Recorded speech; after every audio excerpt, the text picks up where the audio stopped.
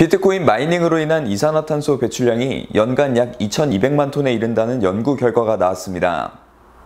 전 세계가 지구 온난화를 막고자 이산화탄소 배출량에 신경 쓰는 것을 감안한다면 새로운 환경 문제로 부각될 수 있습니다. 2,200만 톤은 세계적 관광 도시인 미국 라스베이거스와 독일의 두 번째 대도시인 함부르크의 연간 배출량과 비슷한 수준입니다. 국가로 따지면 1,006만 인구의 중동 국가인 요르단의 배출량과 같습니다.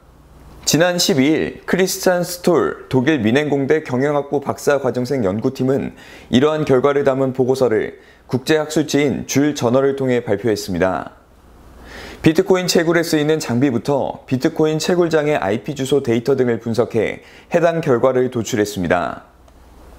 암호화폐 대장주인 비트코인은 현재 암호화폐 전체 거래량의 절반 이상을 차지할 만큼 암호화폐 생태계를 이끌고 있습니다. 비트코인 획득 과정은 채굴과 거래소 등을 통한 매입 방식이 쓰입니다. 채굴을 통해 비트코인을 얻기 위해선 거래 내역 등을 기록한 블록을 생성해야 합니다. 암호화폐는 중앙은행과 같이 발행기관이 없기 때문에 거래 내역을 기록한 원장을 전 세계 네트워크에 분산 저장하고 있습니다.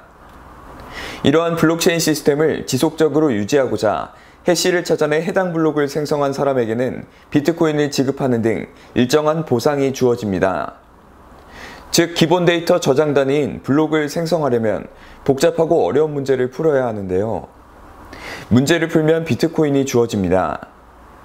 채굴은 결국 비트코인 시스템을 유지하는 연료 역할을 하는 셈입니다. 비트코인 채굴자들은 채굴 가능한 비트코인이 점점 줄어들수록 암호 해독이 어려워지면서 더 많은 고사양 컴퓨터와 그래픽카드 등을 동원하는 실정입니다. 이는 더 많은 전기 소모로 이어지고 이산화탄소 배출량까지 증가시킨 요인입니다. 앞서 블록체인 전문 통계 사이트인 블록체인닷컴은 지난해 비트코인 채굴에 사용된 컴퓨터 용량이 전년 대비 4배 이상 증가했다고 발표했습니다. 스톨 박사과정생은 비트코인 채굴로 인한 이산화탄소 배출은 기후변화에 영향을 미치는 핵심 요인은 아니다며 그러나 비트코인 채굴이 집중적으로 이뤄지는 공장형 채굴장에 대해 규제를 논의할 만큼 그 규모는 충분히 크다고 주장했습니다.